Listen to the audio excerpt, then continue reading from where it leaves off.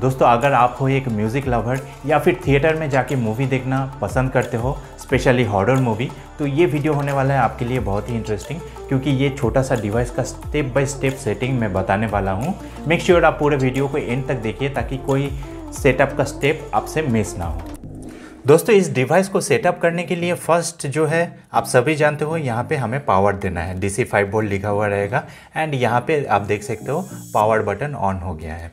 And then second step है, हम लोगों का जो H D M I A R C cable है, वो हमें डालना है आउटपुट ये टीवी के साथ ए आर सी पोर्ट के साथ जुड़ा हुआ है। H D M I out में हम लोग इसे कर देते हैं इंसर्ट एंड थर्ड स्टेप है, आप जो डिवाइस के साथ इस डिवाइस को चलाने वाले हो, जैसे मैं यूज़ कर रहा हूँ अमेज़ोन का फायर टीवी स्टिक तो इसके साथ आप कनेक्ट कर सकते हो। आप कोई भी सेट टॉप बॉक्स को भी इसके साथ कनेक्ट कर सकते हो, या फिर कोई भी जो डीवीडी प्लेयर का कनेक्शन है, उसे इसके साथ अटैच कर सकते हो। आप देख सकते हो, यहाँ पे जो H D M I in का पोर्ट है, इनके पोर्ट के साथ मैंने Amazon Fire Stick T attach किया है। एंड अटैच करने के बाद, क्योंकि मेरा जो 5.1 सबवूफर है, जो म्यूज़िक सिस्टम है, उसका बहुत ही पुराना टाइप का है, इसका एनालॉग डिवाइस है। तो मैं इसके साथ जंपर का यूज़ करूँगा। अगर यहाँ पे आपको आरसीए केबल होता है तो आप अलग अलग से सिक्स सेपरेट आरसीए केबल यहाँ पे ये सारे पोर्ट में अटैच कर सकते हो। तो मुझे एक जंपर का हेल्प लेना पड़ेगा। जैसे फ़र्स्ट चैनल जो है, यहाँ पे ये आप लोगों को नोटिफिकेशन के लिए लिखा हुआ रहेगा।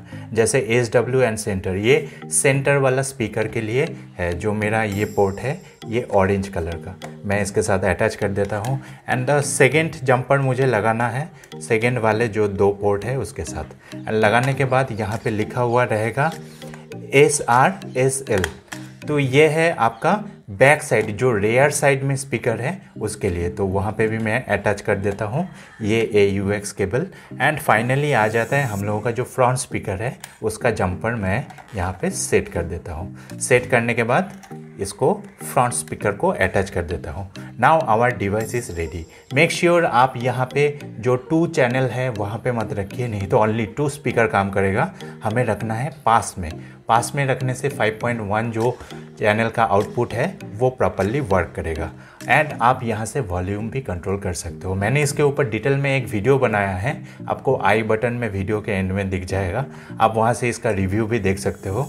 एंड टोटल सेटअप हम लोगों का कंप्लीट हो गया है। ये वन टाइम सेटअप है। अब बस एक बार सेटअप कर लो बार बार आपको करने का ज़रूरत नहीं है। मेक श्योर sure आपका टीवी का जो आउटपुट है, वो डॉल डॉल्बी डिजिटल होना चाहिए। देन ओनली पाँचों स्पीकर एक साथ काम करेगा। आइए चले इसे टेस्टिंग कर लेते हैं।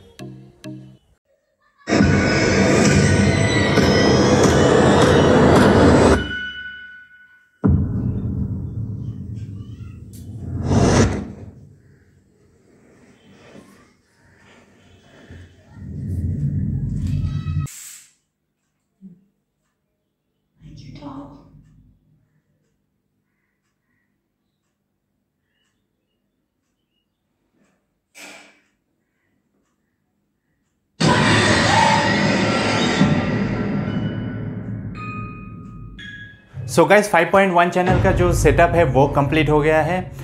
आप ऐसे ही सेटअप कर सकते हो। अगर कुछ प्रॉब्लम हो रहा है, आप कमेंट बॉक्स पे हम लोगों को लिख सकते हो। एंड मेक श्योर जब भी आप 5.1 चैनल स्पीकर सेटअप करो तो दो दो जो स्पीकर होगा, वो फ्रंट का टीवी के एकदम साइड में होगा मिडिल वाला स्पीकर मिडिल में रहेगा। एंड जो रेयर स्पीकर है, वो आपके रूम के पीछे के कॉर्नर पे लगा हुआ रहेगा। तभी आपको 5.1 चैनल का जो थिएटर वाला इफ़ेक्ट है, वो आपको मिल जाएगा। मैं खुद ही डर गया था। एनीवेज अगर वीडियो अच्छा लगे make sure you subscribe to our channel hit the bell icon and ये डिवाइस बाई करने का लिंक मैं डिस्क्रिप्शन में दे दूँगा। आप वहाँ से डायरेक्टली बाई कर सकते हो। So guys stay tuned and thank you so much for watching our channel